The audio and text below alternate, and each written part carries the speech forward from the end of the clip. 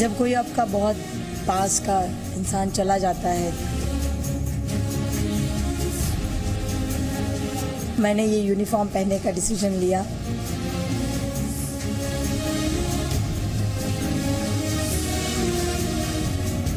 ये उनकी चॉइस थी उनका प्यार था।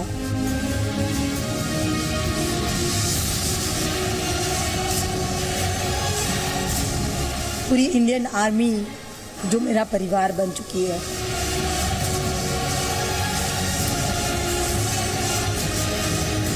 और मेरा ये भी है कि मेरा बेटा भी एक टाइम के बाद आर्मी में जाए।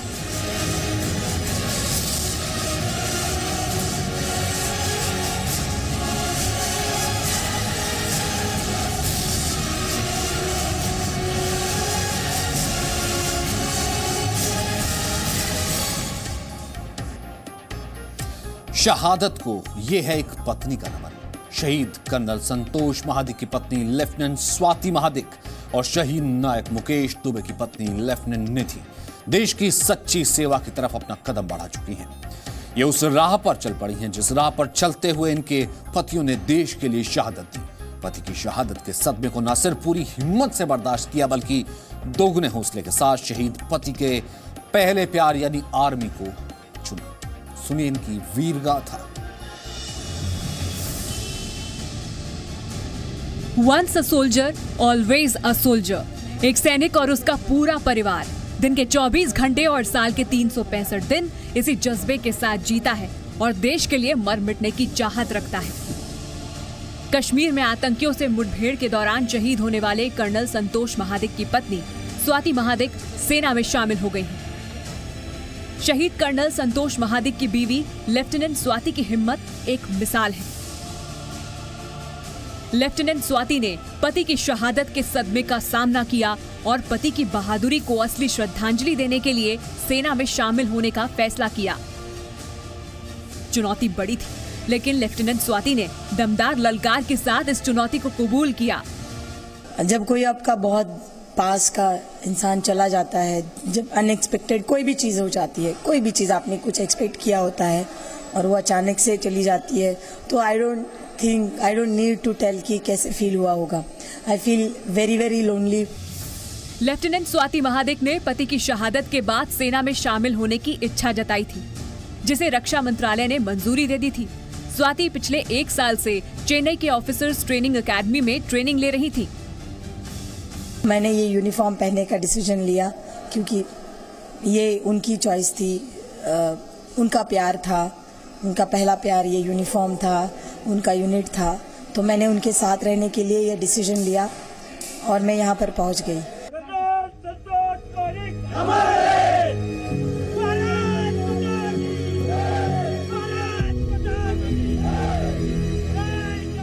भारतीय सेना में कर्नल संतोष महादिक ने जब देश के लिए आतंकवादियों से लोहा लेते हुए अपनी जान दे दी तो पत्नी ने भी ठान लिया कि वो घर में बैठकर आँसू बहाने के बजाय खुद मोर्चे पर दुश्मनों से भिड़कर अपनी पति की शहादत को सलामी देगी। अपने आप को मैं खुद के पोटेंशियल को खुद कभी नहीं जानती थी, क्योंकि मैंने कभी किया ही नहीं था ये। जब मैं यहाँ पर आई तो पूरी पूरी क्लीन थी मेरी स्लेट बिल्कुल क्लीन थी, मुझे पता ही नहीं था करना क्या है। बट ये मुझसे हो गया और इस सब में मेरे अकेले का हाथ नहीं है। चेन्नई के ऑफिसर ट्रेनिंग एकेडमी में रहते हुए लेफ्टिनेंट स्वाति एक साल की कठिन ट्रेनिंग से गुजरी। लेफ्टिनेंट स्वाति ने आर्मी लाइफ को दूर से देखा था, लेकिन आर्मी ज्वाइन करने के फैसले के साथ उन्हें खुद को एक आर्मी अफसर की तरह तैयार करना था। मेरा जो परिवार है या फैमिली है, इससे ज़्यादा इम्पोर्टेंट संतोष ने अपनी फैमिली बहुत बड़ी जोड़ के रखी थी। जहाँ सैनी स्कूल में वो पढ़े, वो परिवार है, जो जिस यूनिट 21 पैरा जिस फैमिली से वो बिलोंग करते थे, वो यूनिट है। जिस यूनिट को उन्होंने कमांड किया 41 आरा जो मराठा लाइफ इन्फेंट्री का है, वो परिवार है। स्वाति ने पति की शहादत के बाद सेना में नौकरी नहीं मांगी। बल्कि पढ़ाई पूरी करके सेना में भर्ती के लिए ज़रूरी सर्विस सिलेक्शन बोर्ड यानी एसएसबी की परीक्षा पास की। इसके साथ साथ उन्होंने भर्ती के लिए ज़रूरी पाँच राउंड्स भी क्लियर किए। ट्रेनिंग पर जाने से पहले 38 साल की स्वाति ने अपने दोनों बच्चों का दाखिला बोर्डिंग स्कूल में कराया। शहीद कर्नल महादिक के परिवार के लिए उनका अचानक चले जाना एक मुश्किल घड़ी थी। ये उस वक्त की तस्वीरें हैं जब देश के लिए मर मिटने का साहस रखने वाले शहीद कर्नल संतोष महादिक अपने बच्चों के साथ सपनों की दुनिया में हंस खेल रहे थे।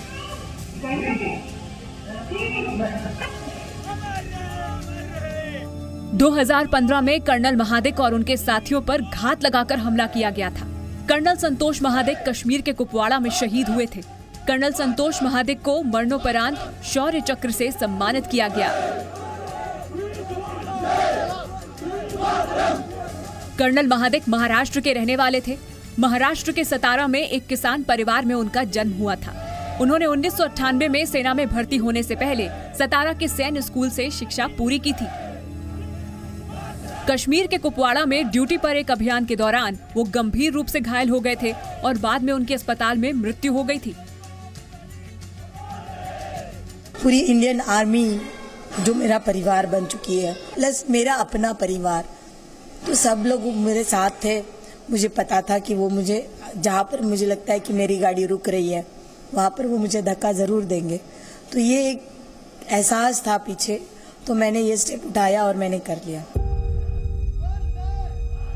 पहले टीचर रह चुकी स्वाति ने पति के अंतिम संस्कार के वक्त ही सेना में शामिल होने की बात कही थी। हालाँकि सेना में शामिल होने में उम्र लेफ्टिनेंट स्वाति के आड़े आ रही थी। यहाँ उनका मुकाबला अपने से कम उम्र के कैडेट्स के साथ था।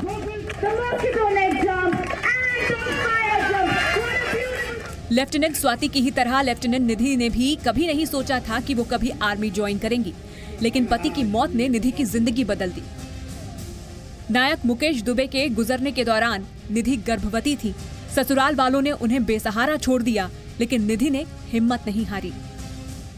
मैंने प्रॉब्लम फेस करे हैं because of my age because of my age a mother I am say after that after eleven months training now I can do everything कि जो सारे करते हैं मैं वो भी कर सकती हूँ। जो सारे एलसीजीसी करते हैं इस अकेडमी में, मैं वो सब कुछ कर सकती हूँ। अपनी मेहनत और लगन के बल पर वो आर्मी में ऑफिसर बनी।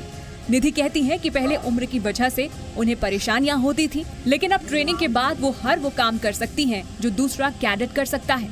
शहीद की पत्नी आज खुद आर्मी ऑफिसर है। पति की ही तरह ये ऑफिसर्स भी देश सेवा की राह चुन चुकी हैं। और साथ ही ये भी चाहती हैं कि इनके बच्चे भी बड़े होकर आर्मी में जाएँ। सलाम है ऐसी माँ को। सल्यूट है ऐसी पत्नी को। और यकीन है कि लेफ्टिनेंट स्वाति महादिक और लेफ्टिनेंट निधि की सोच और उनकी शक्ति देश की करोड़ों महिलाओं के लिए प्रेरणा का काम करेगी। Bureau report, Zee media.